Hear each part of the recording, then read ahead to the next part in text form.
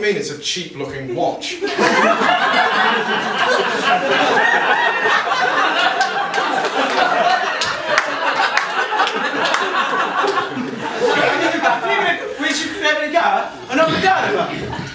Well, you know, let's not talk about the watch because the train just went straight past us.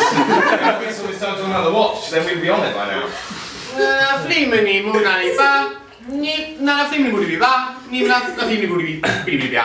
You see, out of principle, I try, and, I try not to get on trains which are going straight past me because they're fast trains and it has a tendency to kill me.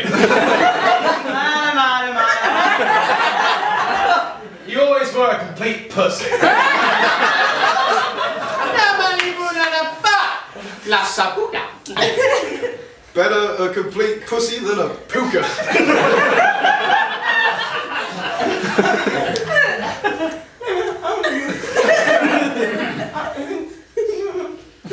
Never in my life have I been called a puka.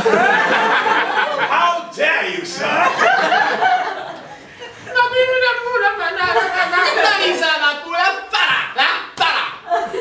I'll still have rough sex with you in the toilet.